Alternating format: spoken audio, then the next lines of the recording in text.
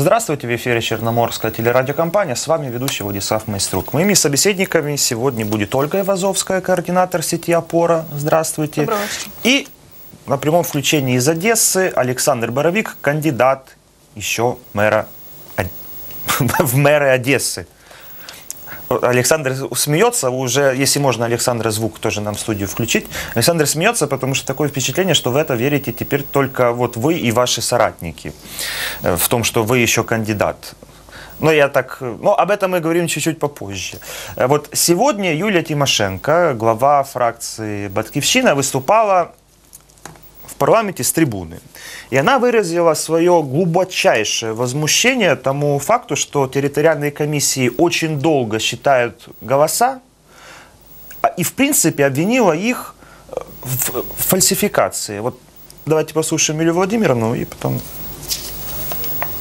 Чому досі справа Ахіндовського, який очолює Центральну виборчу комісію і який є сьогодні ключем до всіх цих фальсифікацій, чому не розглянута в парламенті? Навіть ініціативи такої немає. Чому ті керівники територіальних виборчих комісій і члени територіальних виборчих комісій, які фальшують зараз вибори України, компрометують українську державу, принижують українську владу і український народ. Чому сьогодні не прокуратура, ні Міністерство внутрішніх справ нічого не робить? В Польщі через дві години після виборів до парламенту привітали переможців. У нас другий тиждень ідуть фальсифікації. Вот такой гнев Юлии Владимировны. Вторую неделю подряд идут фальсификации выборов. Вот первый вопрос я хочу задать Ольге.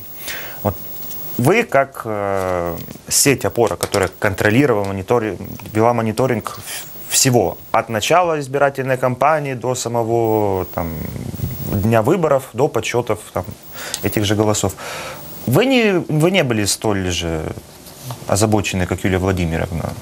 Так в чем дело? У нас фальсификация, как говорит Тимошенко, или у нас все хорошо? Ну насправді, наскільки я пригадую, ми єдина організація, яка із міжнародних із місцевих українських, яка заявила, що вибори не відповідають всім міжнародним стандартам, в тому числі в частині законодавства, тому що право на такий тривалий період встановлення результатів голосування дав закон 5 днів для міських сільських селищних голів і 10 днів для місцевих рад. І тому більшість територіальних виборчих комісій влаштовують собі доволі такі комфортні умови роботи. Зокрема, щодо результатів е, підрахунку голосування по обласним міським сільським селищним радам, у нас, на жаль, багато хто планує дотягувати до останнього моменту. Фактично, це завтра.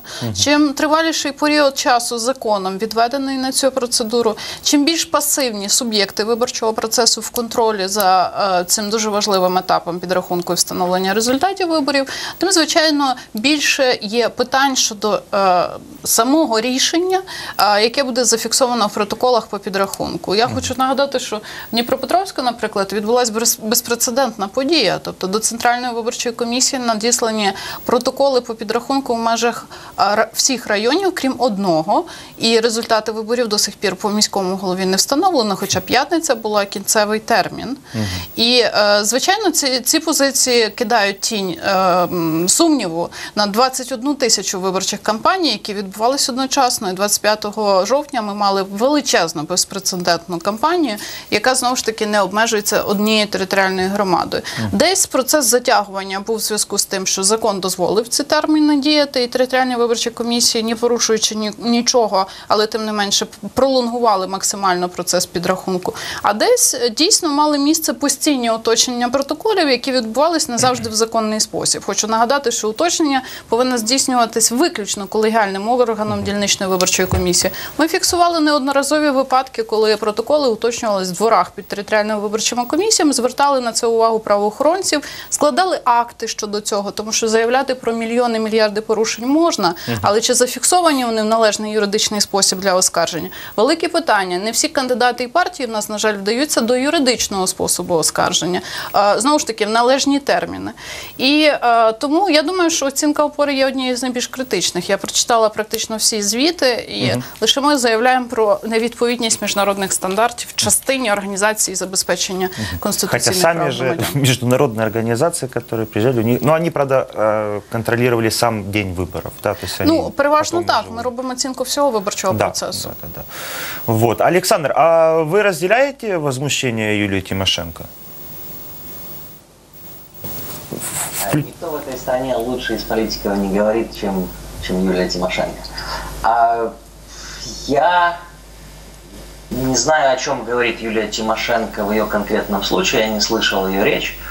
А У меня есть ситуация, которую я вижу а, непосредственно в Одессе.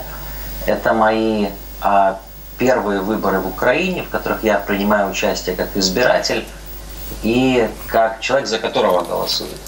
А до этого я принимал всегда участие как избиратель в выборах а, в Германии. Я наблюдал за выборами в Соединенных Штатах. А то, что выборы здесь и как предвыборная кампания, так и сами выборы – это где-то какой-то голос из третьего мира, то, что это не цивилизовано, для меня на уровне просто человеческом это однозначно.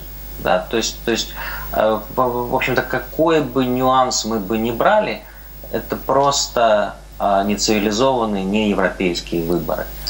А интересно, что если следить за международной прессой, а, я не полагаю сильно на украинскую прессу, а, потому что, а, в общем-то, я очень разочаровался в украинской прессе, а, то они примерно расценивают выборы точно так же. То есть, что украинцы, что мы как нация не можем организовать себя, чтобы нормально провести предвыборную кампанию. И чтобы нормально провести выборы, чтобы нормально провести подсчет. За это нам всем должно быть стыдно. Да? А вот, независимо от того, что говорит Тимошенко, это, в общем-то, нечто, что стало, опять нас как-то э, прославило на весь мир в плохом смысле. Вот. А, и со своей точки зрения я хочу сказать, что выборы были фальсифицированы, а предвыборная кампания была страшно грязной, нецивилизованной. А подсчет голосов в одном случае проходил быстро, в другом случае проходил э, очень медленно. А суды у нас практически не работают, они абсолютно заангажированы. В судебной системе найти какую-то истину просто невозможно. А суды второй инстанции – это, в общем, какие-то политические органы, где решается не на основании закона, а скорее по какой-то политической воле. И вот в этом всем говорить, что у нас прошли демократические выборы, очень тяжело. А в случае Одессы это вообще уникальная ситуация, потому что здесь был выбор. Здесь был выбор между каким-то проевропейским курсом и курсом, чтобы никого не обидеть, э, в общем-то, как-то застрять в 90-х годах в рэкете и в этих всех вот каких-то делах. И практически там несколько процентов решали всю ситуацию. И вот здесь мы показали свою абсолютную неспособность а, зафиксировать вот эти вот несколько процентов. Да? То, есть, то есть мы, по сути, дали возможность сфальсифицировать выборы, даже если это было не так сильно, то это было достаточно для того, чтобы фактически полностью поменять курс. А города. сколько голосов, э, вы говорите, у вас, ну, скажем, украли? А, у нас, по нашим подсчетам, мы говорим о том, что у нас а, украли порядка от 5 до 10 тысяч голосов. Смотрите, там было 6400 испорченных бюллетеней. Вот как можно испортить бюллетень? А Давайте посмотрим на выборы, местные выборы в Мюнхене. Сколько там испорченных бюллетеней? 30 или 40, да? Откуда у нас 6400 испорченных бюллетеней? Кто их сидел и портил? Да? Да, При вот низкой явке 6400 это огромный это огромное количество бюллетеней. Вот, Александр, к вам э, Ольга Ивазовская, которая, кстати, вот организация Пора вела Да. параллельный подсчет э, голосов э, в, ну, на, во во время в Одесі- выборов в Одессы, да, Одесі и не было нічого. никаких претензий. І е, ну питання не в претензіях. Насправді протягом виборчої кампанії у нас були претензії, і інформація про недоброчесну агітацію, боротьбу вона мала місце. Ці всі дані оприлюднені. По покроково їх можна прослідкувати на нашій мапі порушень. У Мене інше питання. От е, в кожній дільничній виборчій комісії були представники блоку Петра Порошенка, і е, напевно ваші представники, як спостерігачі, тощо. От Чому в окремих думках до протоколів їх було подано аж на 2% дільниць? Тобто, зазвичай на що орієнтуються і міжнародні спостерігачі, і місцеві. Якщо немає предмету оскарження з боку представника суб'єкта виборчого процесу, ну тобто махати кулаками після бою дуже проблематично. І а, в 2010 році Юлія Тимошенко заявляла, що були сфальшовані вибори, коли мова йшла про президентську кампанію, в якій вона брала участь е, разом з Віктором Януковичем. А коли ми а, пересвідчились в інформації щодо окремих думках. У протоколах її представників і батьківщини ну були дуже здивовані, тому що в суд не було з чим прийти. І навіть в ситуації, коли є сумніви щодо результату підрахунку чи щодо зіпсованих бюлетенів, біда в тому, що наші кандидати і політичні партії дуже пізно звертають на це увагу, дуже неякісно фіксують. Ну от окремі думки в протоколах з Одеси були в 2% дільниць. От Александр, І що как- робили ваші представники в виборчих комісіях? Це не є це не є закид або ще щось. Це насправді історія для якісного аналізу ситуації, щоб розуміти, як перешкоджати подібним а, м, не- неприємним скандальним ситуаціям на перспективу. А, Был интересный анализ выборной кампании а, в Одессе в Washington Post, и я более склонен вот как-то соглашаться с тем, как описали э, эту ситуацию они. Что касается наших, а, наших наблюдателей, то ситуация, в общем-то, а, показывает саму динамику на этих участках. Во-первых, а, было очень много кандидатов, 40 кандидатов. А каждый из этих, большинство из этих кандидатов были технические. И они, по сути, как в гонке, в гонке за лидером на велосипедах, они все работали на лидера. Да? То есть все представители, когда я приходил в какой-то участок, то я видел, что наш один наблюдатель находился в полной изоляции. Все работали против него. Да? И все работали на одного лидера. И это было абсолютно очевидно. Да, для этого, собственно говоря, это одна из причин, почему было так много технических кандидатов. Они ракетерским способом просто захватили участки. Это первое. Да, и это об этом, в общем-то, пишет Washington Post в том числе. Да? А, к сожалению, наша пресса об этом не пишет. А далее у нас были случаи, когда 30% наших наблюдателей в Суворовском районе с утра самого им сказали, что... То есть их запугали. Они просто решили спрыгнуть. Да? А в день накануне они проходили через тренинг, все было нормально, я с ними встречался. На следующий день они с утра позвонили и сказали, что у них были, а, к ним, к- им угрожали, и они не будут это делать. Мы прислали новых туда а, людей, и этих людей просто нагло вы- выталкивали из зала. Да? Выталкивали из зала, и я приезжал на некоторые такие участки, и наш человек стоял за дверями, двери были закрыты, и комиссия собиралась вместе с бюллетенями без этого человека. Да? Когда мы говорим о том, что а, подделать от 5 до 10 тысяч человек, мы говорим о том, что при 1400 участков а, нужно подделать порядка 10 а, каких-то бюллетеней на каждом участке. Когда ты видишь динамику на участке, это очень легко сделать. И у нас есть много видео из того, как это делалось, как вбрасывали просто бюллетени. На это, для этого есть видео. Да? Более того, у нас есть порядка сотни протоколов, которые были испорчены, где нагло писали напротив имени Труханова, писали было, изначально стояло 306, потом тройку, как в первом классе, первоклассник изменял из тройки на пятерку, причем ставля черточку, да, и получалось 506. И вот при таком вот, при таком вот подходе, а, при таком вот подходе а, очень легко было сфальсифицировать эти выборы. И все, кто говорят, что этого не было, пусть читают Washington Post, и я не знаю, куда они смотрели. У меня был случай, я в понедельник рано утром в 10 часов утра приехал на один из участков, и там вообще был, как будто бомба упала. С одной стороны лежат протоколы, с другой стороны лежат бюллетени, а, ходят, кричат члены комиссии. На меня я зашел, еще вообще ни слова не сказал, они уже на меня кричат. А в это время на рабочее место приходят люди, и они просто проходят между бюллетенями и протоколами, да, они идут, поднимаются на второй этаж, но их тропа ведет между бюллетенями и протоколами, да, вот, то есть, ну нет такого нигде в цивілізованому мірі. А Просто членів комісії у вас не було від блоку Петра Порошенка? А, дивіться, це було дуже, це дуже цікава динаміка, тому що в Одесі багато людей з блоку Порошенка і багато людей з інших партій вони працювали разом. Ми приїхали як, як, як е, сила змін. Ми ситуативно працювали з блоком Порошенка, але вони дуже часто працювали проти нас. Та, і це, це вже таке партійне питання, е, з тим нічого не зробиш.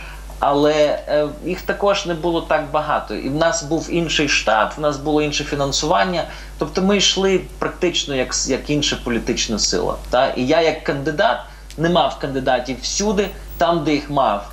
Їм погрожували, їх е, виштовхували з, е, з тих станцій, та вони не могли дивитися за всім процесом. Тобто, так. Вот, Александр, вот скажите, вот сейчас уже пришло время разбирательства в судах, да, потому что Да. вы говорите много нарушений, угрозы, а угрозы это очень серьезная вещь. Вот в Одессе как получилось, что главный милиционер города это из команды Саакашвили, к которой вы тоже относитесь, э, прокурор Одесской области тоже, можно сказать, из команды Саакашвили, это Ге- Георгий, э, который Давид. да, да, Давид, извиняюсь, да. Сакаралидзе, да. Да, Давид Сакаралидзе, который совмещает еще э, должность Да. зам генпрокурора. Ну, в принципе, все козыри, по идее, у вас в руках. То есть вы должны сейчас войти в суд, все доказательства показать и выиграть, и не знаю, там, и добиться решения суда, чтобы, не знаю, там, какой там второй тур про- провели. Можно же еще Да. через суд это сделать. Да. А, смотрите, это, а, ну, во-первых, вы немножко преувеличиваете нашу силу, потому что а, Давид Сакваралидзе пришел в прокуратуру буквально три недели назад, чуть больше. А, у него нету всей, контроля над всей прокуратурой. Просто это невозможно. Да? У, него, у него есть несколько человек, которых он привел из Киева. Да? У Лорки Панидзе есть несколько полицейских, которые, а, в общем-то, не принимают участие в этом процессе. Да? Теперь, что делает лорд Кипанидзе? Он делает абсолютно правильные вещи. Он начинает расследование, начинает приходить в суды, и вчера он пришел в один из таких судов, чтобы ему разрешили прокуратуре поднять протоколы. Да? Суд разбегается, их собирают по домам, ездят и просят прийти на работу. Они приходят на работу, да, и в это время кто-то объявляет, что суд заминирован, и им нужно убежать. Да? То есть суд заминирован, им нужно убежать. В это же время четыре судьи отводят свои кандидатуры, говорят, что мы не можем решать а, вопросы по этому делу, потому что мы знаем мэра. То есть у нас есть как будто предрассудок какой-то. О чем это говорит в общем-то? Это о том, что у нас сейчас в стране сложилось государство, когда государство не способно выполнять свои функции в определенных нюансах, в том числе такие как выборы. У нас государство не способно провести демократические выборы и не способно наказать нарушителей. И вот наша команда, что она делает с небольшими силами, нас всего здесь 20 человек. И мы идем, по сути, против всей той номенклатуры и всей той якобы элиты, которая, в общем-то, своими корнями идет в глубокий бандитизм 90-х годов.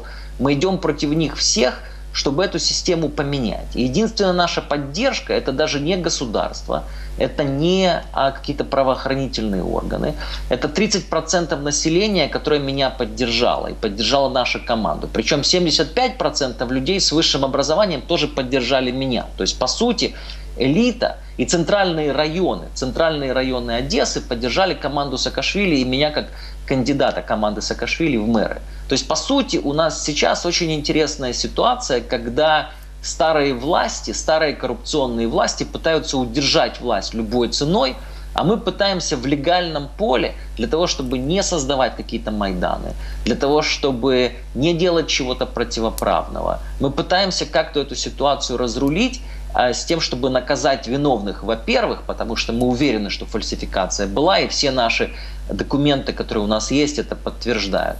Да? И, и в то же время вывести это куда-то в цивилизованное русло. Вот, Александр, вот вы говорите, суды э, разбегаются, не принимают решения, а кто тогда их контролирует?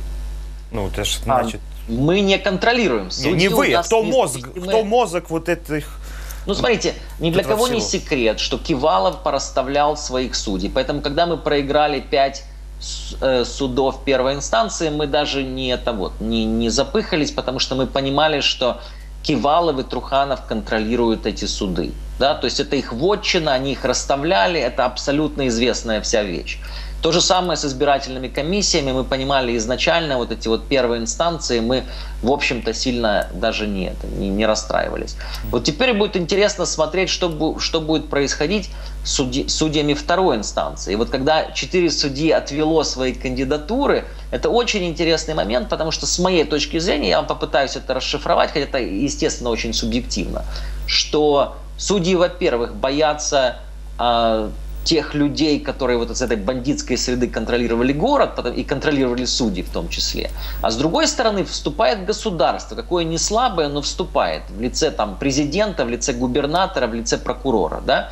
И вот судьи спрыгивают с этого всего, потому что им страшно, они не понимают, а кого им представлять. Да? А, то, есть, то есть нигде в цивилизованном мире судья не спрыгнет, скажет, сказав, что он знает мэра. Естественно, он знает мэра. Конечно, он его знает. Судья в любом городе знает мэра. Да? Вот. То есть, что это за самоотвод? Да? То есть, это люди не способны объективно принимать решения по каким-то вопросам. Да? И если бы они не видели, что их дело шито белыми нитками, они могли бы легко принять решение в пользу мэра – Потому что это, в общем-то, было очевидно, почему они принимают это решение. Да? Но их дело все сшито белыми нитками. Они понимают, что им нужно либо принимать решение по закону и тогда становиться на какую-то тропу войны с этим криминалитетом, да? либо принимать решение в пользу криминалитета по делу, связанными белыми нитками, и тогда, в общем-то, становиться на тропу войны с государством. Да? И вот здесь вот такой вот дуализм всей ситуации, это то, что характеризует сейчас современную Одессу. Это, по сути, война двух миров, современного какого-то мира и мира 90-х годов. Вот, Александр, мне вот, я хочу дать послушать вам и Ольге фрагмент обращения президента Петра Порошенко народу, как, который он записывал ну, на этих выходных, ну, mm-hmm. которые были, э, как раз по поводу местных выборов. Вот что он говорит по поводу на, нарушений, как они повлияли на эти выборы. Пожалуйста. Так, окремі виборчі комісії, як не прикро, дозволяли собі порушити закон або виявляли недостатній професіоналізм. В подібних виняткових випадках я, як гарант Конституції, прав і свобод громадян України, мусив впливати на ситуацію, будь то Маріуполь чи Павлоград. Так, все ще гостро стояла проблема підкупу виборців окремими кандидатами але цього разу на неї активно реагували правоохоронні органи. В цілому ж порушення мали здебільшого технічний, організаційно-процедурний характер. І як заявляють моніторингові громадські організації, до речі, яким я дуже вдячний, закордонні спостерігачі, яких ми цього разу мали надзвичайно велику кількість, на перебіг голосування, на результати волевиявлення, ці порушення не вплинули. Вот, Александр, я попытаюсь истолковать слова президента, может быть, я не прав. Вот он, в принципе, что говорит? Что в Одессе все окей, и Боровик не раскачивай лодку? А, ну, про Одессу он не сказал ни слова. А я знаю, что он очень близко следит за этой ситуацией. А я думаю, что очень показательно будут, э, показательными будут суды второй инстанции, потому что суды второй инстанции – хотим мы этого или не хотим, а на них имеет э, влияние политическое руководство страны.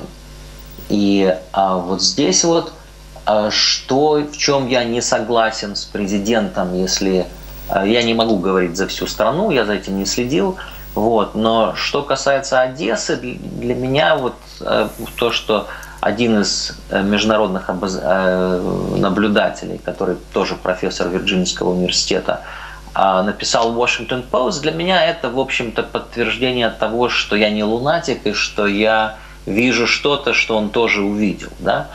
А вот здесь вот я хочу сказать, что с моей точки зрения небольшое количество фальсификаций серьезно повлияло на исход выборов. Я не могу сказать, что у господина Труханова нет поддержки в Одессе. Она есть.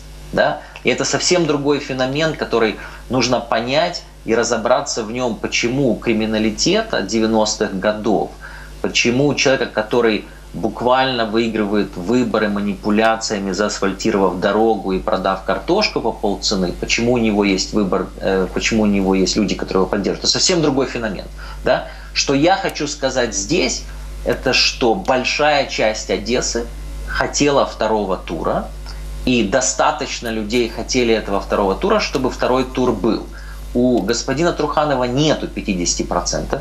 Это очень плохо, что наши государственные органы, что наши независимые наблюдатели не поняли этой динамики и что они не сделали... Должен был бы быть второй тур, и второй тур должен был бы показать, чего Одесса хочет. Двигаться в 21 век или оставаться с криминалитетом 90-х годов. Да? То есть вот здесь вот технические неполадки ли, маленькие фальсификации ли вы их назовете, но они были значительны для того, чтобы поменять на исход выборов. Что я хочу еще сказать, это что это в принципе то, что пишет Washington Post.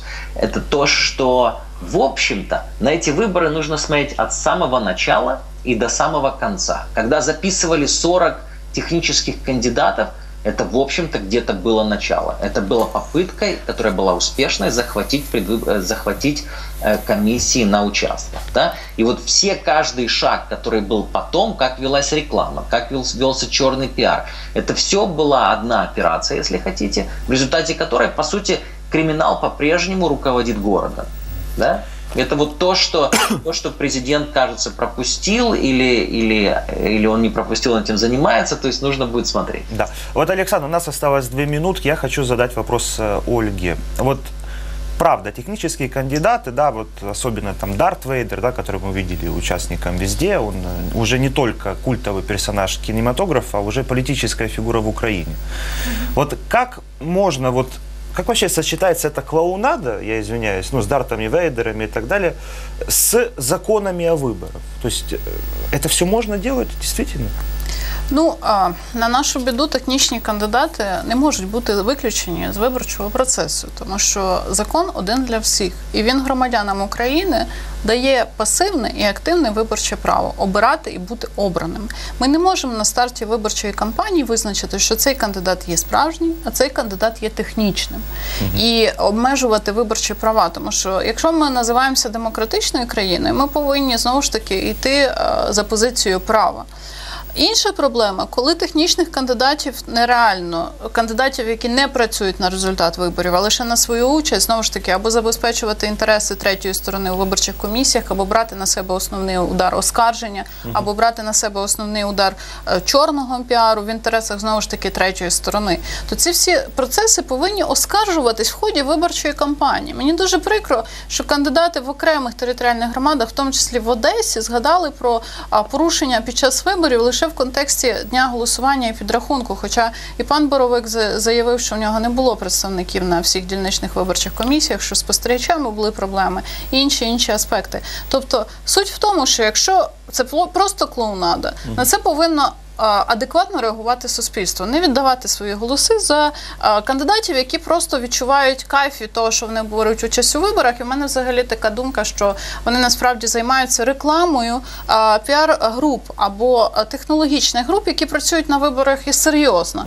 Але вони показали, що вони можуть створити продукт з нічого і привабити увагу суспільства для того, щоб ми з вами про це говорили. Насправді такі кандидати, як Дарти Вейдери, вони не є небезпечні для виборів набагато більш небезпечні технічні кандидати, які мають чітке завдання, або вони є так звані групи негативного впливу на виборчий процес, або технічні, які забезпечують представництво в виборчих комісіях, забезпечують абсолютно більшість там інші інші процеси. Я просто хотіла б нагадати, що в Одесі і Одеській області нами зафіксовано понад 190 порушень в ході виборчої кампанії. І мені дуже прикро, що кандидати, на жаль, не мали часу і натхнення на те, щоб оскаржувати ці дії під час кампанії.